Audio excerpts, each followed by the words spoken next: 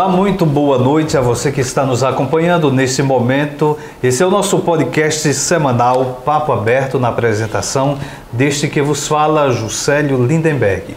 Uma nova temporada do nosso podcast Papo Aberto. E para abrir com chave de ouro essa nova temporada, eu estou recebendo aqui nos estúdios do Papo Aberto a primeira dama de Riacho de Santo Antônio, a senhora Alcione Lima. Estamos em nome da Complan Planejamento e Contabilidade. Também estamos em nome da Link PB, provedor de internet, nossos patrocinadores oficiais que estão aí apoiando o nosso podcast Papo Aberto, que é uma produção, idealização e realização do blog do Juscelio. Alcione Lima, muito boa noite, seja bem-vinda ao nosso Papo Aberto. Uma alegria recebê-la pela primeira vez aqui no nosso podcast Papo Aberto. Boa noite, meu querido Juscelio. Boa noite, telespectadores que estão nos assistindo. O prazer é todo meu de estar aqui fazendo parte desse podcast. É uma honra receber convidados especiais aqui. Uma alegria muito grande para a gente estar nessa conversa aberta. O próprio nome já diz Papo Aberto e é uma alegria tê-la aqui conosco pela amizade que temos e, claro, pela função que a senhora desempenha hoje à frente do município de Riacho Santo Antônio na condição de primeira-dama. Então, a nossa primeira pergunta é: quem é Alcione Lima? Bom, Juscelio, eu sou Alcione Lima, tenho um apelido carinhoso, como todos conhecem, Aninha, né? Venho de família humilde, uma família carente é, meu pai se chama Heleno, minha mãe se chama Iracilda. Ao todo somos sete irmãos. Um já não, já não está mais entre nós, né? E como falei, sou de família humilde, mas talvez é, essa dificuldade do, do passado, né, me fez uma pessoa mais forte para que eu pudesse me, me fortalecer na vida, ter, ser uma pessoa de atitude e me tornei uma mulher forte por querer sempre o melhor para mim e para os meus. Muito bem, estamos conversando com a primeira dama de Riacho de Santo Antônio, Alcione Lima. Alcione, o que mudou para você pelo fato de hoje ser a primeira dama do município? É, como tem sido o seu contato com as pessoas? Acredito que foi uma mudança de 360 graus, né? Realmente, Juscelio, foi um reviravolta na minha vida, na vida do meu esposo, enfim, na vida de todos, né? Porque antes nós não tínhamos o contato com as pessoas quase, né? Nós tínhamos um, um, uma carga horária de trabalho muito grande, então esse trabalho ele requer muito a sua presença. Então nós não tínhamos muito contato com as pessoas, embora já morássemos aqui há, há muito tempo, né? Mas o conhecimento era pouco com a população. Então, a vida mudou assim de repente. E hoje eu tenho que estar presente, tenho que ser uma pessoa atuante, tanto eu como meu esposo, né? Então, é outro lado da vida que eu não conhecia. É, exatamente. As coisas elas mudam. É uma rotina, uma rotina que também não é fácil, né? Naturalmente pelo cargo que vocês exercem a partir do seu esposo, que é o prefeito constitucional.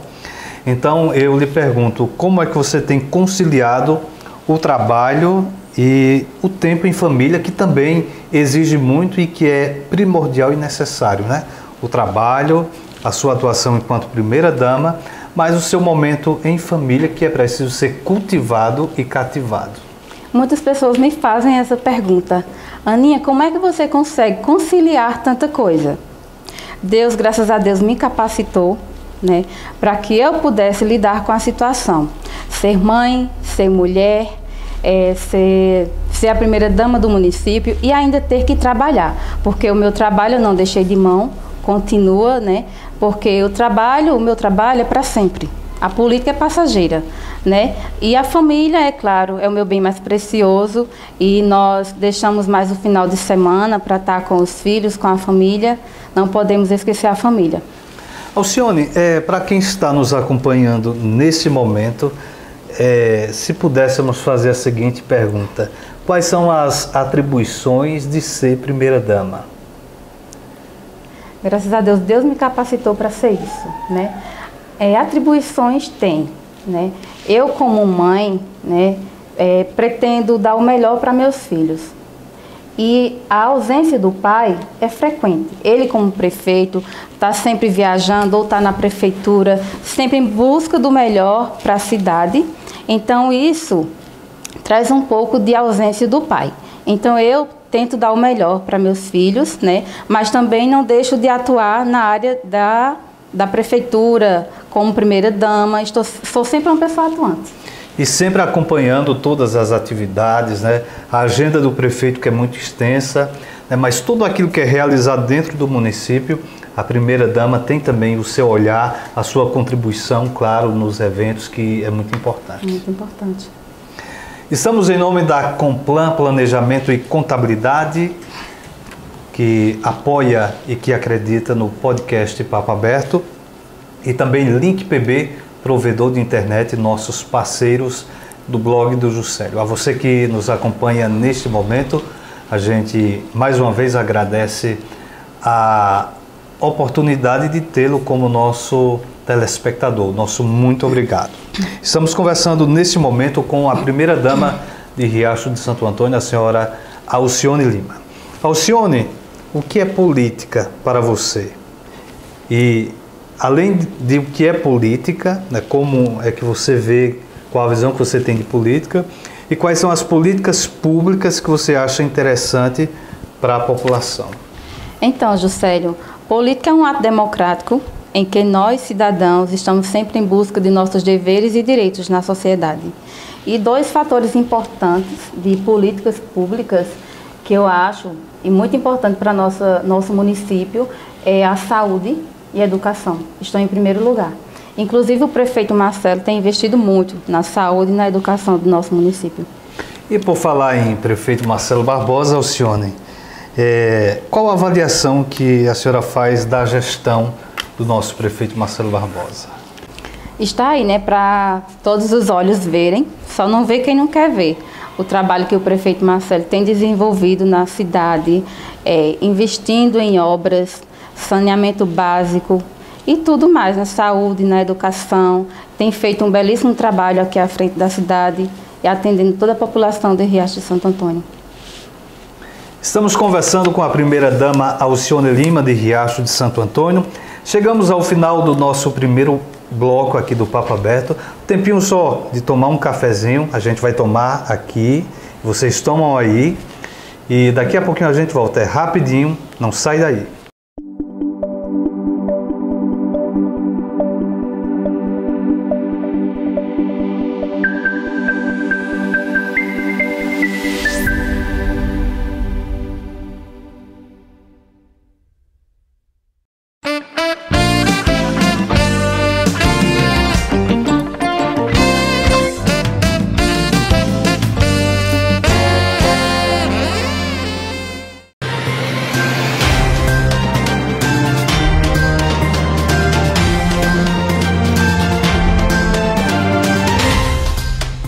Estamos de volta no nosso podcast Papo Aberto. Já tomamos aquele cafezinho gostoso aqui no estúdio e, claro, você aí do outro lado também tomou. Estamos recebendo nesta quinta-feira a primeira dama de Riacho de Santo Antônio, a senhora Alcione Lima. Uma alegria muito grande tê-la conosco mais uma vez. Seja muito bem-vinda. Obrigada. Estamos em nome da Complan Planejamento e Contabilidade e também Link PB, provedor de internet. Alcione Lima, você é casada há quanto tempo com o prefeito Marcelo Barbosa? Quantos filhos vocês têm? São duas décadas, duas décadas de muito companheirismo, de família, né? E assim, Juscelio, eu conheci o Marcelo, eu tinha 14 anos na época, depois foram três anos de namoro, e quando eu tinha 17 anos, nós resolvemos assumir nosso compromisso, é, formamos uma família, Tivemos três filhos maravilhosos, minhas bênçãos, né, que Deus me deu, graças a Deus, todos com saúde. E aí, firmamos uma luta de trabalho para conseguir nossos objetivos, realizar nossos sonhos. Muito bem, essa é a conversa com a primeira-dama de Riacho de Santo Antônio, Alcione Lima. Alcione, o que é família para você? Qual a importância de se ter uma família enraizada ali, como agora há pouco você falou? Família é tudo, né? Família é nossa base, Família é a base de tudo. Quem tem família tem tudo. A família é onde nós encontramos nosso aconchego, a família é o nosso refúgio. E eu amo minha família acima de tudo nessa vida. Alcione, é, qual a sua religião e qual a importância de se cultivar a fé nos dias atuais? Eu frequento a igreja católica, né? sou uma pessoa de fé desde cedo, aprendi a ter fé, né? E meu esposo, o Marcelo, também é. Sempre fomos uma pessoa de fé. E certo dia eu perguntei a ele, Marcelo, você ainda continua sendo aquela pessoa de fé? Você ainda faz aquelas orações que você fazia antes? Né? E ele olhou para mim e disse, sim. E sempre quando eu vou deitar, eu faço minhas orações. Sempre quando levanto, faço minhas orações. Todos sabem da nossa história. Como, como chegamos até aqui, é, que sempre travamos uma luta de trabalho no rumo da Sulanca. E certa vez, quando vínhamos da feira, né, eram às 5 horas da tarde, isso aconteceu há uns 5 anos atrás. Quando vínhamos da, da feira, né, do nosso trabalho, em torno de umas 5 horas da tarde. E quando chegávamos ali, naquele alto, em que se avista a cidade, né, ele fez o sinal da cruz, olhou para mim e disse: Aninha, eu ainda vou ser prefeito dessa cidade e vou deixar ela uma boneca. Eu senti, eu senti que aquilo era real. Eu senti que aquilo já estava escrito, mas eu fiquei calada, né? Porque quem sabe do nosso futuro é Deus. E veja bem, Juscelio, o que foi que Deus preparou? Depois de cinco anos depois, o que foi que Deus fez? Deus entregou a cidade nas mãos do Marcelo, né? Porque é por, pela vontade de Deus que estamos aqui é, à frente da cidade como gestores. E Marcelo não tem feito outra coisa a não ser trabalhar por essa cidade e é por isso que até já chamam ele de, do prefeito do trabalho. Muito bem, bonita história de, de fé, realmente uma expressão de fé. A Bíblia diz que a fé é o fundamento daquilo que não se vê, ou seja, é esse acreditar, né, como expressão de fé que você acabou de nos relatar e que hoje acontece de forma concreta, pois Marcelo tornou-se prefeito e de fato tem transformado a cidade de Riacho de Santo Antônio, né? Realmente, né? Ele tem feito o que ele prometeu. O que Deus deu, ele agora está tendo um papel de dever cumprido, porque ele está realmente transformando a cidade. É, a vida de vocês na Sulanca, a gente sabe que tem momentos bons, mas também tem momentos muito difíceis, né? Porque você não tem sempre uma cartela de clientes fidedignos ali, mas você tem que estar captando sempre novos clientes, tem que também estar se atualizando nos padrões da moda né? para acompanhar e tem os momentos que realmente são difíceis, ou seja, tem feiras que realmente é, não são tão boas, né? Como é que vocês enfrentaram também esses momentos? José, eu tive que me dividir, né, como primeira dama, como eu falei, como mãe.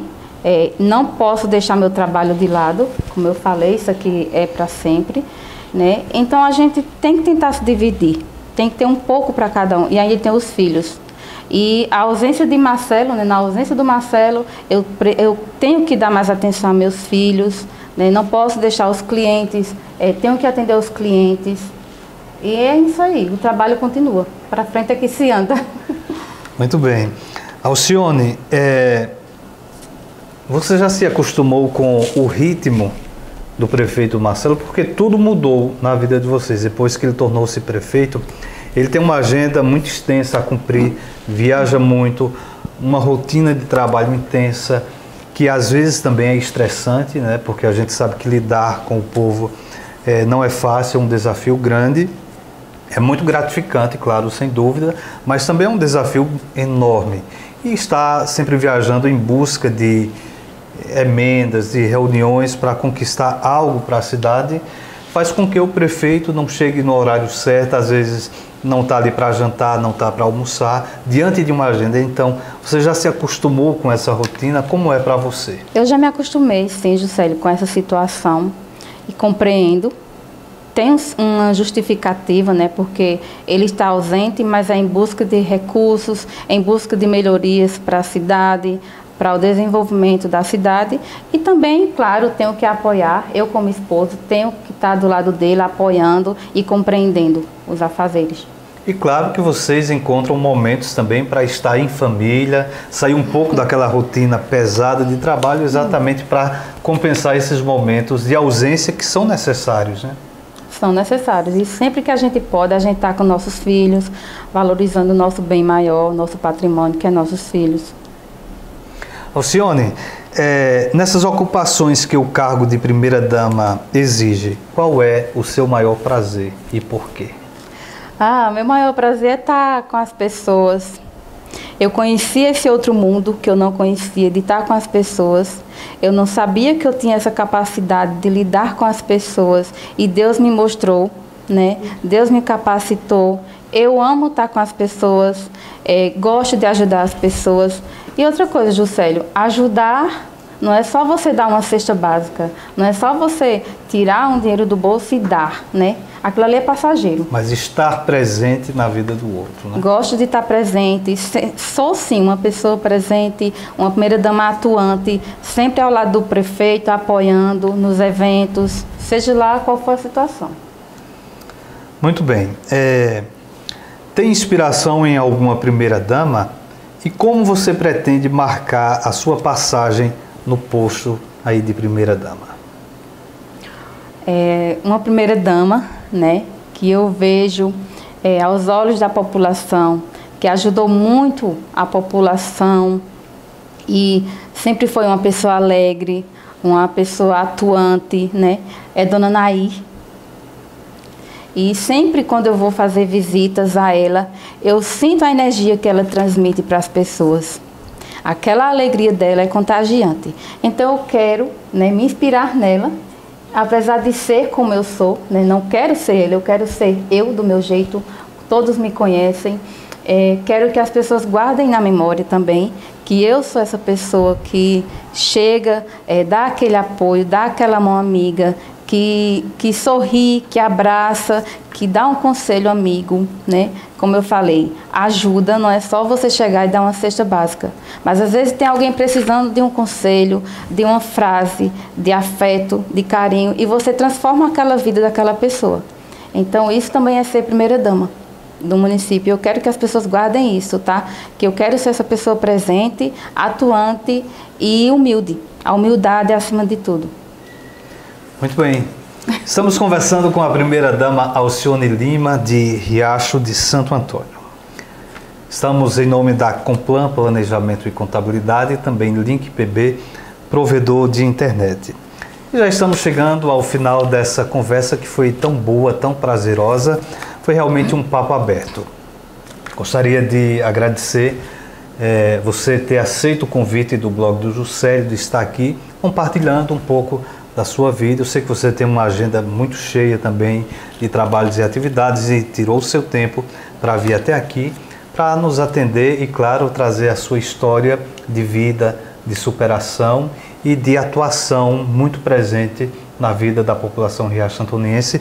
Então fique muito à vontade para os seus agradecimentos e considerações finais.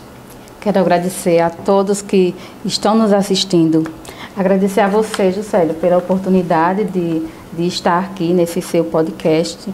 E agradeço a Deus pelo dom da vida, agradeço a Deus por me proporcionar momentos bons, proporcionar esses momentos que estou vivendo na minha vida, uma experiência nova. Né? Agradeço a Deus pela minha família, que eu amo, é tudo na minha vida. E é isso aí. Muito bem, e assim chegamos ao final do nosso podcast Papo Aberto. Hoje conversamos com a primeira-dama Alcione Lima. Na próxima semana tem mais convidados e você não pode perder. Você pode compartilhar a nossa entrevista para outras pessoas que não tiveram a oportunidade de acompanhar nesse momento. Curta, comente e compartilhe. Muito obrigado a todos e até o nosso próximo Papo Aberto.